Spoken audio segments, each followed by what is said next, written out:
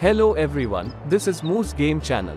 Today I will share with you a video about how to load and transport an excavator on a Mercedes truck in the game Farming Simulator 22.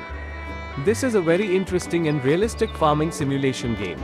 You can participate in farming activities such as plowing, sowing, harvesting, raising animals and more.